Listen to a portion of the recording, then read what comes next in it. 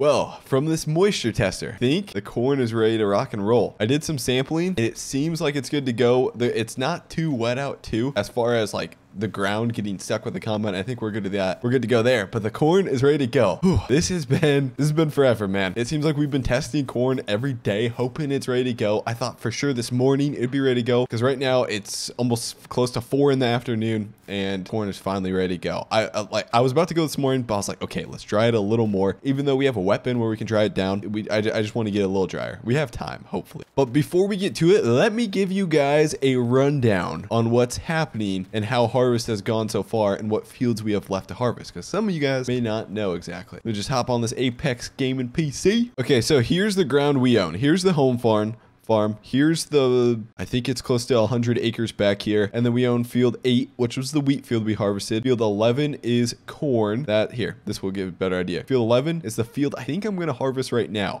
but this is a cornfield. This is a cornfield. And also field 7 we own is a cornfield. There's a lot of grain that's going to be hauled off between these three fields. And today it's only me. So we're not going to get much done, unfortunately. And then we also own this field right here, which I call it the no name, no number field uh, that we did beans on, if you guys remember. And and I think I still have my header there. Yes, my header is still there. So um, there's it's mainly corn the rest of the way. Yeah, it's pretty much corn the rest of the way. It's what we got here. Field 10, field 11, and field 7. Um, and then hopefully we can get it done by winter. It's there's a lot to harvest. Honestly, at some point, I'm gonna want to get two combines. Guys, don't let me get two combines, okay? I'm serious. We have the money for it, but I just I'm, I'm going to want to. I know I'm going to want to get another combine. By the way, I appreciate the support on the video so much. It's been awesome, especially the roleplay. This I love roleplay when we have other people, but unfortunately today it's only gonna be me. I gotta be, you're stuck with just me. Yeah, I'm that lazy, driving the Razor down the driveway. But dude, you gotta get that thing out sometimes, dude. That thing was pretty dusty. So uh, we have the 7310R. By the way, I always call this a 7200R, and I apologize. 7310R. Um, I don't know. For I don't know why I have it in my head uh, 7200R the whole time. But what we got to do is unhook the Batwing from it and then hook this back up to the gravity wagons. So since it's just me, I think what I'm to do is run the 9670 combine and then unload directly into the gravity wagons. I feel like there's really no point to run a grain even though, dude, I really want to run a grain cart today. We don't have another person to help out, unfortunately. So we won't even, we probably won't even get the, maybe we'll get the, yeah, may, okay, maybe we'll get the grain cart out today. I got to figure out how I got to do this. Since there's only me, it's going to kind of suck. But let's at least get the, all the equipment hooked up and ready to go for maybe tomorrow when I think Austin's going to be here tomorrow. And I might ask Jake to help out tomorrow too. It'd Be perfect. Okay, so for now, the Batwings. Oh, shoot. Oh, shoot. That's not good. We almost took out the shed. For now, the Batwing's going to be put in there. Now, I guess I didn't even see a comment on my last video, but I said my camper was gone. And I haven't even seen a comment where it went. Because I have no idea where that camper went. Like, I don't know if my memory is just wiped or if, like, you know, I just, I have no idea where my camper went. I seriously don't know if, like, somebody stole it or what. Like, I'm, I'm not messing with you guys either. Like, I'm not trying to, like, qu quiz you guys. I have no idea where the camper went, like, legit. So what we're going to do is connect the 7R to our Brent gravity wagons down here, the red ones, of course. Now, the 8130 is connected to the green ones. Uh, and these are going to be basically our grain trains right here. I'd like to connect all four, that'd be perfect, but that's that's pretty darn unrealistic. Now I want to give a shout out to Mappers Paradise because they've been working, in case you guys don't know, you guys probably know, but they've been working on uh, Minnesota Millennial Farmers map. and uh, and so if you guys want, go check out their Facebook page, especially if you're on there. And once you're on there, you gotta you gotta give them a like on their Facebook page. But if you want to see photos of like updates of how the map's actually coming along, they have some photos of like the sheds they've been working on. They're trying to get it they're trying to get it like one for one to where like everything, like exactly, I guess. I guess one to one means like uh, basically exactly what he has in real life. But anyways, I'll link that down below. If you guys want, go check out Mapper's Paradise page.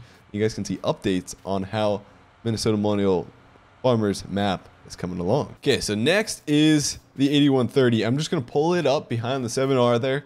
We'll get these ready to go. I don't know if I'm going to take these out to the field yet or not. I got to kind of figure that out. Okay, there we go. That is all lined up. Okay, so the 9670, there's going to be an argument. If people really know their equipment really well, there's going to be an argument that the 9670 can't run. Here, I'm going to fire up quick. But the 9670 can't run a 12-row corn header. And I kind of agree. So right now, we're going to run a 12-row corn header. I'm pushing it. I'm pushing it to like extreme limits. It'd be nice to it, it'd be nice to upgrade the horsepower, run a little tuner on her. But I think what we got we ought to do is upgrade our combine. I'm serious. I'm dead serious. Like trade this thing in. I'm gonna run on a 12 row corn header for today, but this thing is just it doesn't have enough power. A 9670 at max, I, especially I've looked on YouTube just to kind of give an idea of what people run, and everybody's run like an eight row corn header. Very few people are running a 12 row corn header on a 9670, which means we should probably upgrade, and it's probably not that realistic. But we're gonna see how it goes for today. What's nice is the field we're harvesting is right across the street. So, you know, when I'm bringing equipment, I can just go for a little jog, just back to the back to the shop, and there's our equipment. Okay, so I'm gonna leave that running, and we're gonna get harvesting. Actually, I should probably run through the field to make sure, just make sure the moisture's fine. And last but not least, the beast. The 8970. I don't, okay, I'm just going to be completely honest here. Uh, okay, I'm going to tell you guys. The 8970 doesn't have a PTO.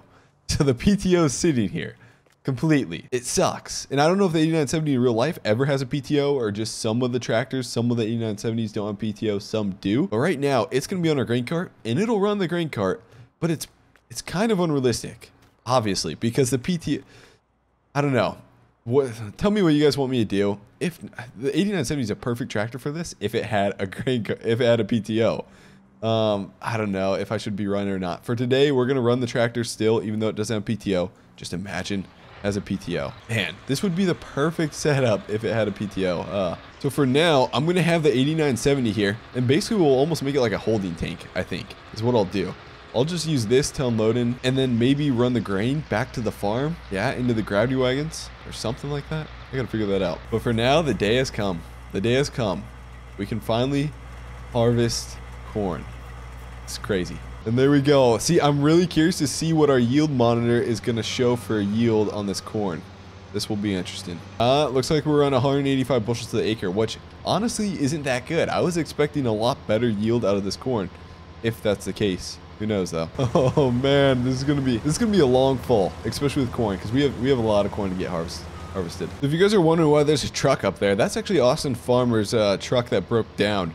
He got a little ways down the road, and the Cummins, man, he was just gone. Actually, the transmission went out on the truck, so he's been that's been sitting there. You should probably turn off his hazards. I was gonna drain that battery, but that's been sitting there for over a day. That truck. I don't know what his plan is with that, but that thing is uh, transmission is toast on that thing. It's fried. This 9670 seems to be struggling a little bit. We're running, we're pushing max RPM, of course, but this thing is struggling, especially when we're climbing up a hill too. The corn is isn't yielding. It's not insane the yield coming out of it, but it's still struggling with a 12 row corn header. So I think what we're gonna have to do is upgrade combines, guys. Could be next video. Uh, it could be next week. Who knows when we're gonna upgrade? But I, we need to get this thing I feel this is hard on this combine. So this seems like it's going to work out good. So I'm just going to finish this off right here. And then back up. That looks really realistic right now. Of course it is. It's real life. It's a vlog, right? this has got to be my thumbnail. This is really sweet right here. I don't know why. But what's nice is I'm going to get full here, like really close to full. And I can just pull the grain cart just right on the side here. And we can unload. I, I'm not going to make it all the way back to the grain cart. But we might make it somewhat close here. Okay, so what I gotta do, shut the combine off, and then sprint for a little jog over to the uh, 8970.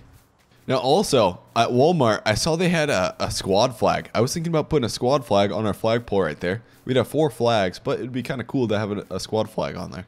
Big old 8970. I'll pull her underneath, and then we'll unload and uh, keep on going here. And then this cornfield over here to the right is what we have to harvest also. This is uh, this is my other field. I forgot how many acres it is. It's pushing a little under, a little under 800 or eight, a little under 100. Sorry, 800 would be insane. Uh, but that's gonna be that's gonna be a challenge too if I was by myself. And there we go. We're unloading. Should probably jump in the combine. Actually, never mind. There's no way we're overfilling this thing. Man, this is actually gonna be nice. So our combine holds about four to five hundred bushels, and then this holds 1500 bushels. So we should be able to get three full combine loads in here before it's uh before it's full. He's like gold, boys. Blowing gold in the tank. So I'm going to shut the 8970 off, and hopefully we make it somewhat close to here. I don't think we will. I think we'll probably be done there. If I do another headland around here, we'll probably stop right there. But So I think what I'm going to do is open up the ends. So here's one end, and then obviously the other end will be down by those five big oak trees down there. So I'll do one more pass down this way, and we should have enough room to turn around Uh, and then this, and this will allow us to just go back and forth, and I'll cut a straight row so we have a perfectly straight row. So it's pretty easy. Uh, it's pretty easy to run the combine here. Or maybe this this end might be straight here. I know the other end was definitely curvy. Since uh, no, it's a little off. Yeah, this is an issue though. We can't be run. It's it's struggling a little bit. This uh, a lot of bit. This 9670 is struggling. Oh shoot, we're off a little bit. I'm struggling a little too. Holy crap. So I'm about 300 bushels in, and I just kind of basically what I did there is I just straightened out. Oh shoot, I can't see behind me. Um, I kind of just tried to straighten out this row here so that I have a straight path here because it was kind of curvy. So I kind of cut out the curves of this, and then we'll go straight back and forth. Uh, and this should this field should be fairly simple to harvest.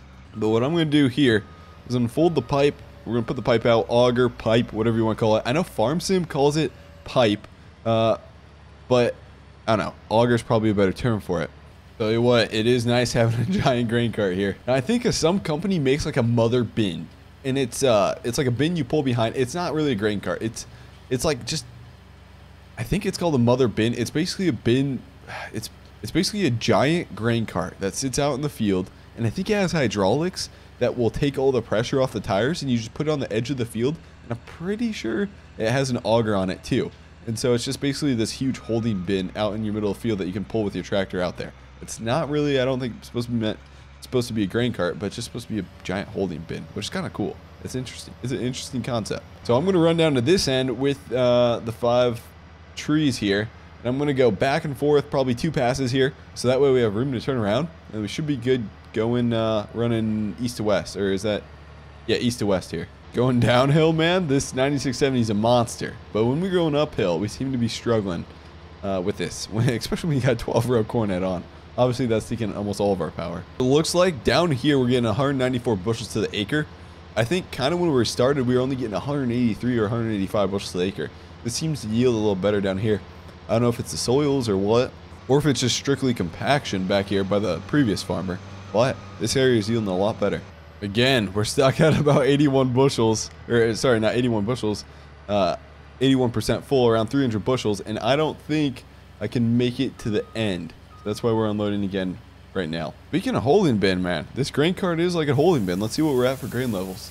Yeah, we got a we got a lot more room to go yet. This is going to be nice, and especially say we upgrade to a bigger combine, that's going to have a bigger holding capacity, which will allow us to hold, which will actually fill up the grain cart a lot more faster.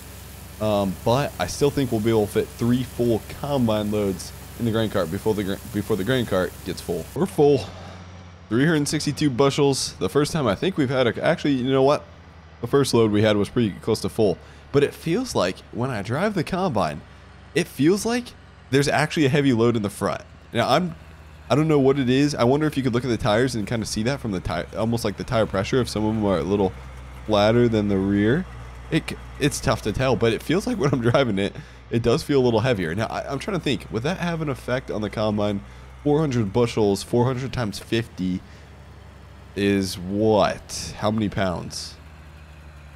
Like 20,000 pounds? I think, yeah, yeah, that'd be 20,000 pounds. So that's kind of some weight, but it probably, I wonder if you'd be able to feel it as a combine operator, though. Feel the weight. She is getting close to full here. I'm going to try to fill up the front, and then I'll work my way to the back here. So, so far, I'd say we got probably a third of the field complete maybe a tad more than a third. Yeah, probably a tad more than a third, especially with the headlands. Now down here, it's yielding uh, basically 193 bushels. It's it's tough because there's probably a. I, I wonder how accurate this yield monitor is because there's probably a margin of error of like a little under five percent, I would guess, on these yield monitors. So I mean, technically, you can't tell that this end is better than this end. It's pretty darn close throughout the whole field. This is where it'd be nice to have some help because right now it's just smooth sailing. Our only issue is, is that I don't have help. If I had a grain cart here, this would be really simple. Or if I had a helper to run the grain cart, somebody running up next to me, and then, hey, you know what? This is where I need an autonomous grain cart. Smart Ag. The CEO came in and presented to one of my entrepreneurship classes, I think like a year ago or so, and uh, and pitched us the uh, and he pitched us the autonomous grain cart, which is pretty cool. It's a pretty cool idea. Uh, he created Smart Ag, uh, which is a company that has the autonomous grain cart. I don't know if you guys have seen a YouTube video of it. It's pretty darn cool. And then also, uh, they have also, I think he created, it's Colin Hurd is the CEO's name, but he created Ag, it might have been Ag Vision. I forgot what company it was. It was a different name. It wasn't Smart Ag. Are we full? We are full. Darn it. I need to quit talking so much. So what I gotta do, shut off the combine, fire up the 8970. Yeah, there's a lot of weight. These tires are, yeah, tires are squatting a little bit. Yeah, you can tell there's some weight behind there. So we're gonna run the 8970 back to the gravity wagons. Now, I gotta decide if we're gonna run this corn to town. I gotta see what prices are. Let me pull up my iPad. So it looks like corn, if there's, ooh, so bi the biodiesel plant, which isn't surprising, biodiesel plant actually has the highest price right now. So we could run some corn over there. Price per bushel, this isn't the best. It's crazy that wheat, this is kind of weird, guys. It's crazy that wheat has a higher price per bushel than corn does. That's just, in, that's a little off there. Or I guess, you know what, now that I think of it, what is wheat per bushel is probably pretty similar to corn. Now, I've never been around wheat like wheat areas a lot. So I honestly don't know what the price per bushel of wheat is. But now that I think about it more, wheat doesn't yield that much. So the price per bushel of wheat, and I guess obviously it depends on a lot of other factors, but I think the price bushel for wheat maybe is more than corn. Yeah, I'm not sure on that one. I guess I can't say I can't make fun of that because yeah, yeah, yeah I'm, I'm I'm not sure. So we have 1,500 bushels of corn here. Now either way, whether we I gotta figure out how to do this the best. See, what would be really nice is to just unload into one gravity wagon that's just loading directly into the bins. But it's not, I need to like, I need to set up some, some type of, you know what? Maybe what I could do is set up like an auger. Think about this. An auger that goes, I don't know if this would work. Yeah, this would probably be my best bet for now is to buy an auger that let's say goes right through here and the auger all the auger does is unload straight into the pit here yeah have an auger right here, and then I just pull my grain cart right through, uh, and then have a gravity wagon sitting right here, unloading the gravity wagon. Gravity wagon's automatically jumping into the auger, which the auger dumps into the pit. Unless, maybe, I'm not sure if this is true on this grain cart, but the grain cart may have a emptying mechanism on the bottom of the grain cart. I mean, that's usually not how you empty a grain cart, but it may have something like that down there. I don't know. I don't think it's meant to be used like that, even if it were. So for now, what we'll do is we'll just fill these gravity wagons. This whole grain cart is going to pretty much fill both of these gravity wagons. Oh yeah, boys. 8970s keep keeping up, man, with that PTO, you know? Spin oh, dude, the PTO's spinning back there. What the heck is that? That's so funny that the PTO is actually spinning back there. So we do have a PTO, guys. We do have a PTO on the 8970. I guess you could say, even though you don't see it, it's there because it's definitely spinning the PTO right there. And that cart looks to be full. So we'll back up and fill the other one. I definitely should have filled the... Yeah, I definitely should have filled the first one first. And she's a filling. That's a lot of grain coming out at once. Dude, you can see the gravity... You can actually see the gravity wagon, like, kind of moving. Like, you can see it filling up with weight. I don't know if it's the tires, like, kind of sinking down a little bit. Or if the gravity wagon's, like, trying to get away almost. But it's, like, it's kind of, like, almost trying to push the tractor, the 7R up there. It's trying to push, like, the 7R forward a little bit, it seems like. Okay, those are full, so we'll head back out to the field with 8970. What's nice is I got this entrance down here that makes that allows me not to have to like kind of maneuver my way around the farm. Oh, actually, you know what? We have 9% left. I better back this puppy up and we better unload in those other gravity wagons. There we go. Now she's officially empty. So we're going to head out to the field again. We'll keep harvesting some corn. So I guess the question that I have for you guys is what combine do we go with? Seriously, put it down in the comment section. I have $330,000. Obviously, I don't want to blow all of our money on a brand new combine, but we need something that has a lot of power. Uh, you know what would be cool is run a 16 row corn header. I'm not going to do it because it's just like you don't see that many people run a 16 row corn header. It'd be really nice to run a 16 row corn header. Uh, so I'm thinking, I'm thinking uh, just a bigger model STS. So we could go 9770 or we could go like a, a 9870, 9850, 9860, something somewhere in there, or or we could go up to the S series, so like a S680 or S690, or maybe a 700 S780, something like that. But the, once you get to the 600, 700, those are going to get expensive though. That's the only thing. I'm not going to get that good a trade-in value for this 9650. So I'm going to unload the last 200 bushels in here, and we'll head back out to the field. Uh, but so far, what? We probably got about, probably got about 20, 30 acres knocked out. For one guy, it's kind of good for one guy getting that much done so far. But anyways, guys, I just want to say this is going to be the end of the video. Now, I know this was a, a little shorter episode. And to be honest, I am really behind right now. I had a ton of school. There's no there's no excuses. No excuses at all. Seriously. But uh, like literally this is getting posted right after I get done recording this. And I just want to I want to be honest with you guys. I want to let you guys know. So this is a lot shorter video coming out and I'm going to be late on the release time because usually I always like to post at 3. Just want to keep you guys updated. But seriously guys, thanks for watching. Hope you guys enjoyed it. And hey, I'll see you next time where we should be going a lot faster with harvest and hopefully we have another a different actually maybe another combine. Maybe we'll be running two combines. Don't let me do that. Seriously i'm gonna want to do it. Don't let me do that. But maybe we'll have a new combine. Seriously thanks for watching guys. I'll see you later